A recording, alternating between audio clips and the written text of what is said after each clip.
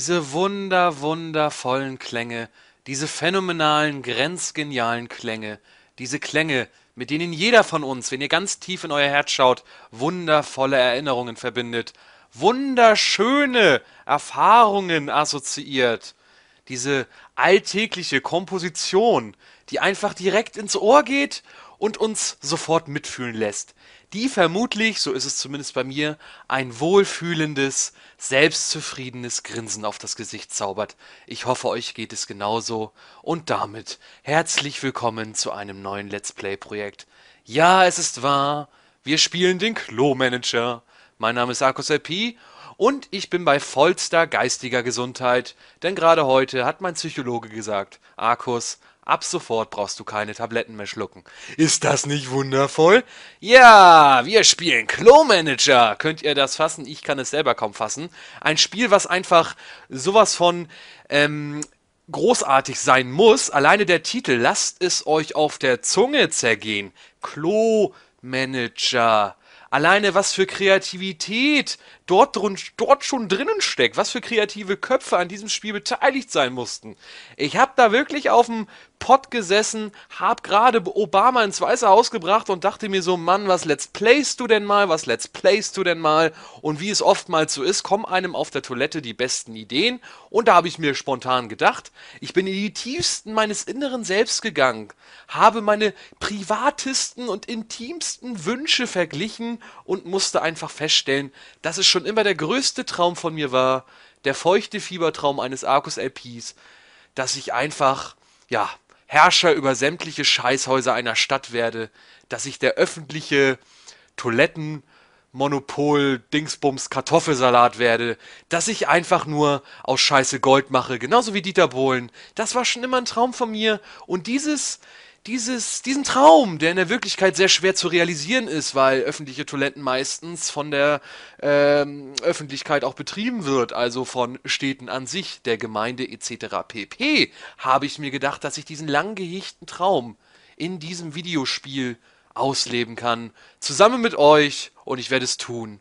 Wenn wir uns alleine nur den Hintergrund anschauen, der Hintergrund, der einfach durch seine Schlichtheit beeindruckt. Er springt einem förmlich ins Gesicht.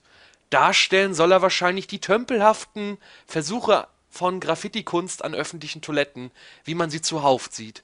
Es fehlt eigentlich nur noch, habt ihr die Nummer von der geile Hure? Das lese ich nämlich andauernd. Aber soweit haben die Entwickler leider nicht gedacht.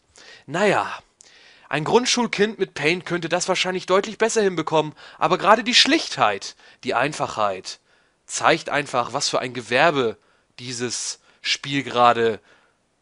Ich laber Scheiße. Aber das passt zum Spiel. Das ist das Wunderbare. Ich kann meiner, ja, meiner Kotterschnauze freien Lauf lassen. Ich kann vulgär daherreden. Ich kann einfach losplappern, bis mir der Hals stecken bleibt.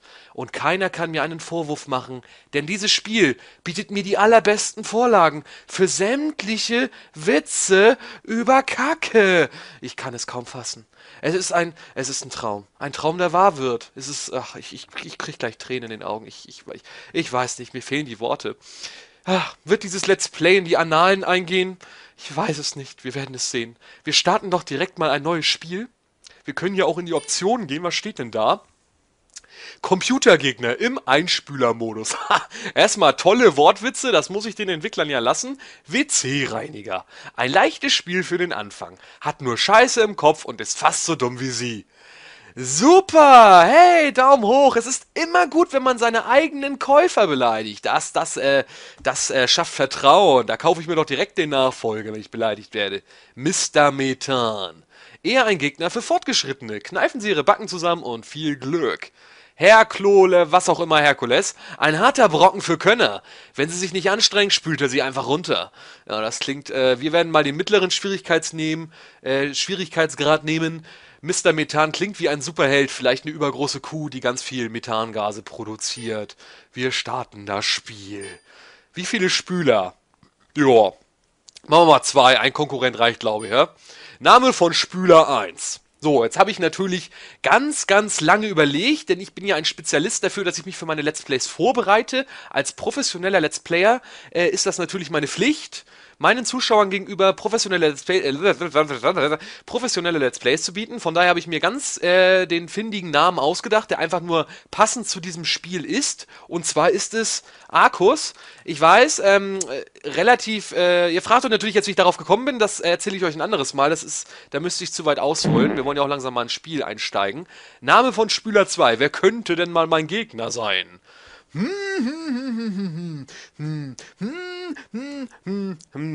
Hier, warte mal. Shit Gordon. So, ich habe keine Ahnung, wie ich da jetzt drauf komme, da, da muss man mein Gehirn fragen, aber das antwortet selten. So, Spielziel, da können wir ein Spielziel auswählen. Okay, Erreichen des Ranges Klo-Manager. Erwirtschaften von, äh, bin ich gut in Mathe. Besitz aller Toiletten der Stadt. Verleihung aller Auszeichnungen. Erreichen des maximalen Forschungsstandes. Besitz einer Toilette in jedem Stadtviertel. Das meiste Geld nach Runde 10. Höchster Rang nach Runde 10. Ich würde vorschlagen, wir nehmen den Rang des Klo-Managers an, denn das wäre auf jeden Fall ein Rang, mit dem ich mich gerne schmücken würde. Ich meine, äh, auf dem Schreibtisch ein Diplom-Klo-Manager. Wenn dann deine Freunde vorbeikommen, sagst du, yeah, yeah, bin Klo-Manager, willst du mal meine Toilette benutzen? Ich weiß, wovon ich spreche.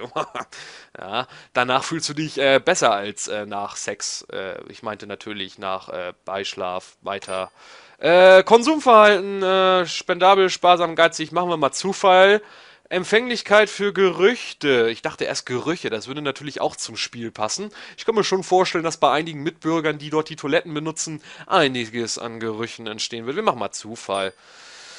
Äh, Kurzanleitung Büro, scheißegal. Ich habe das Spiel noch nie gespielt, es ist blind, ich habe es nur mal gesehen. Ich weiß damals auf einer Bravo Screen Fun, das war eine total bunte Spielezeitschrift mit allerhand Themen für alle Konsolen und PC-Spiele, richtete sich eher an das junge Publikum, war des, äh, deshalb auch äh, sehr einfach geschrieben und halt auch relativ bunt, aber da war immer eine CD bei mit Demos und allerhand anderen Scheiß und da war unter anderem auch damals irgendwann eine Demo vom Klo Manager dabei. Soweit ich weiß, kommt das Spiel aus dem Jahre 2003 3. Ich würde es jetzt aber nicht beschwören. Ähm, ja, gut. Reden wir doch lieber mal über das Spiel. Ähm, da, also, was mir ja zuerst auffällt, ist die bestechende Grafik, mit denen das Spiel mich versucht, direkt in die Atmosphäre hineinzuziehen. Ähm, ganz stilecht, äh, Toilettensitz ist ja ganz klar.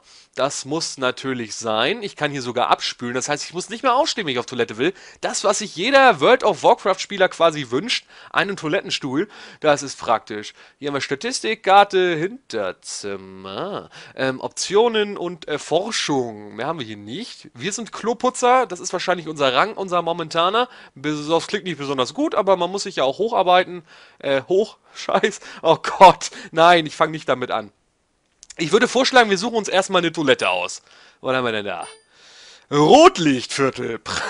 Preis 490.000, ne? War teuer, du. Das Rotlichtviertel ist die Anlaufstelle zum Ausscheiden von Körper.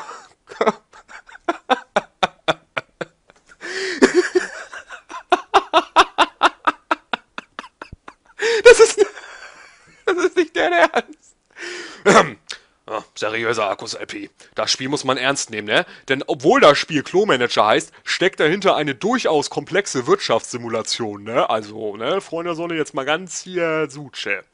Das Rotlichtviertel ist die Anlaufstelle zum Ausscheiden von Körperflüssigkeiten jeder Art. Viele zahlende Kunden kommen hierher, wenn sie ein Becken benutzen.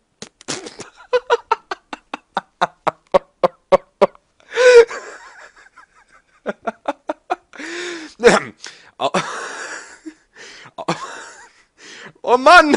Ich müsste das normalerweise rausschneiden, mache ich aber nicht. Ah, ist doch sowas von Kacke. Ach, ja, jetzt kann ich das sagen und es hat sogar Spielbezug. Ist das nicht toll? Auch ein Kondomautomat wirft in dieser Gegend weitaus mehr Ertrag ab als in anderen Stadtgebieten. Unglücklicherweise reduziert der Alkoholkonsum in diesem Gebiet die Zielgenauigkeit der Kunden. Folglich ist mit erhöhtem Reinigungsaufwand zu rechnen. Das klingt nach einer Herausforderung, der ich mich gerne stellen möchte.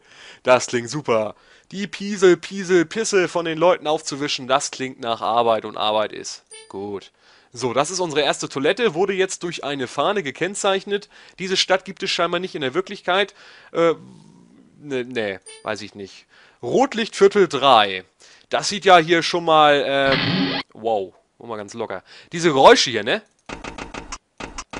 Rolle samt Ich kann mir jetzt hier Papier. Ich muss mich erstmal mit dem Spiel auseinandersetzen. Was haben wir denn da? Also erstmal ist das Menü sehr umfangreich, muss ich an dieser Stelle sagen. Dafür, dass wir eine standardmäßige Toilette nur einrichten, äh, ist das schon mal äh, nicht von schlechten Eltern. Ich meine, Smaragdschüsseln. Ich meine, da fühlt man sich ja wie der, wie der Papst, wenn man da auf die Toilette geht. Auf den Thron quasi, den ich hier darstellen kann, wenn ich möchte. Wir fangen natürlich klein an, also holen wir uns erstmal eine Keramikschüssel. So, diese, dieses komische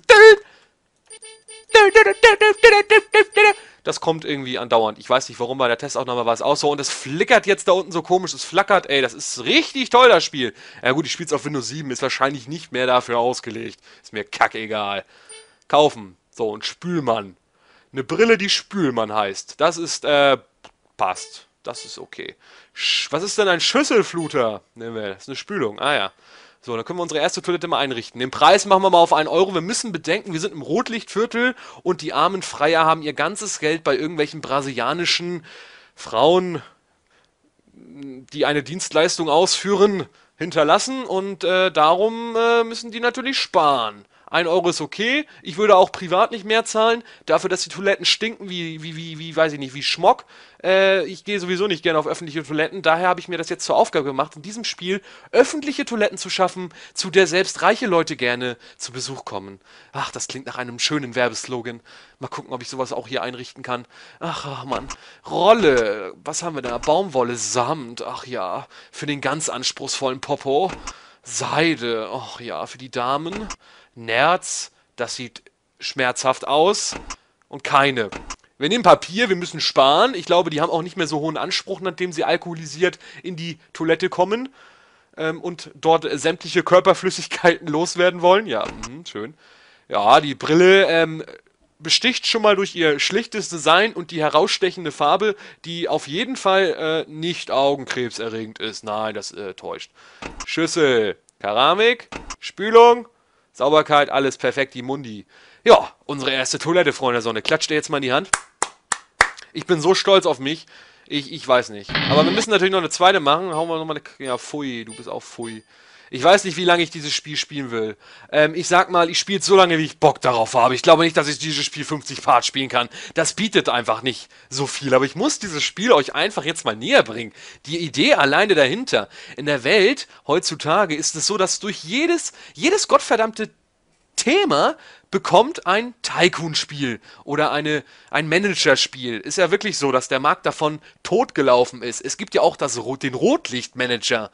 Aber der Klo-Manager ist sowas von absurd, dass ich ihn jetzt einfach mal spielen muss, weil das ist einfach, das muss man einfach respektieren, also ohne Scheiß. Da haben die sich wahrscheinlich wirklich äh, die Birne zugesoffen, die Entwickler. Soweit ich weiß, waren das zwei Personen und haben das Spiel in der Nacht total breit einfach mal programmiert und auf den Markt geschmissen. Und ich weiß nicht, wie es sich verkauft hat, aber aber so ein paar Hausmütterchen oder auch ein paar, äh, weiß ich nicht, Omas, die ihren Kindern eine kleine Freude bereiten wollten zu Weihnachten, haben dieses Spiel bestimmt gekauft. So, dann holen wir uns einen Schlüsselfluter, denn die müssen ja auch irgendwie spülen. Da wäre scheiße, wenn sie es nicht können, ne? So, Spülung, der Schlüsselfluter, wir machen hier ein bisschen zackig hier. Kann ich die Farbe nicht ändern? Das ist ja kacke. So, da zwei reicht erstmal. Ach, hier ist ein Waschbecken. Dann können wir noch einen Handtrockner holen. Das muss ja sein. Ich meine, wenn die die Hände voll mit äh, ihr wisst schon, was habt, ne? Da muss man auch mal die Hand trocknen. Seifenspender, ja gut, machen wir auch nochmal. Kostet ja nur 150. Sieht so ein bisschen aus wie, ich möchte, ja, sieht aus wie eine Bohrmaschine oder so, aber. Kondomautomat, ach, das darf ich nicht vergessen. Ach, scheiße. Nicht genug Kohle. Lichtschranke, wozu brauche ich das denn? Ja, im Rotlichtviertel könnten schon ein bisschen kriminelle Machenschaften ihr Unwesen treiben. Hm. Na gut, wir gehen mal zurück. Ich gucke mich mal in meinem Büro um, was ich da eigentlich noch alles erledigen kann. Das zeigst du jetzt bitte nicht mehr an. Forschung! Ich kann tatsächlich an Toiletten forschen. Das ist schön. Während überall noch Menschen an Krebs, AIDS und anderen Krankheiten sterben, forschen wir weiter daran, wie man die Toiletten optimieren kann. Das ist, äh, ja, die Wissenschaft hat festgestellt, dass Margarine Fett enthält. So, wie viel Geld wollen Sie für die Forschung investieren? Joa, wir mal, ne?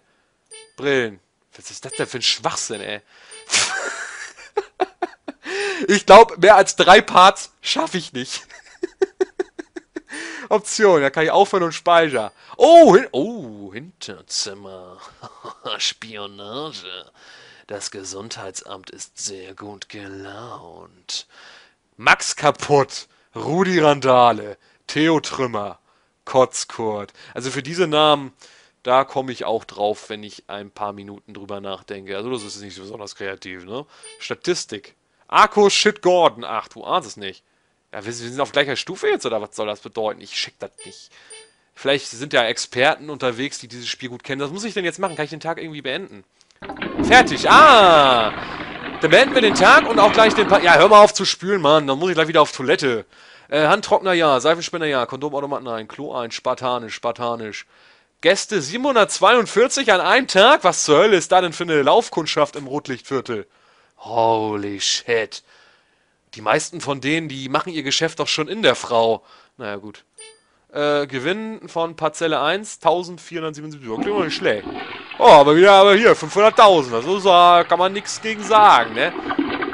Das ist auch sehr schön, dass wir jedes Mal, wenn wir einen neuen Tag beginnen, durch diese lieblichen Klänge begrüßt werden. Ah, ich glaube, ich werde einen Wecker programmieren, der genau diese Geräusche verursacht. So, Freunde der Sonne, ich würde sagen, das ist als Einstieg erstmal genug. Im nächsten Part geht es weiter mit dieser feuchtfröhlichen Abenteuerreise. Ich hoffe, Ihr verzeiht mir dieses Projekt, diesen kleinen Ausrutscher, den ich jetzt einfach mal bringen muss. Einfach aus Spaß. Drei, vier, fünf Parts wird es wahrscheinlich geben und dann habe ich auch keinen Bock mehr. Aber ein bisschen Spaß werde ich auf jeden Fall damit haben. Und ja, ich gehe jetzt auf Toilette. Ich hoffe, ihr müsst jetzt auch mal ganz dringend und äh, ich wünsche euch was. Tschüss.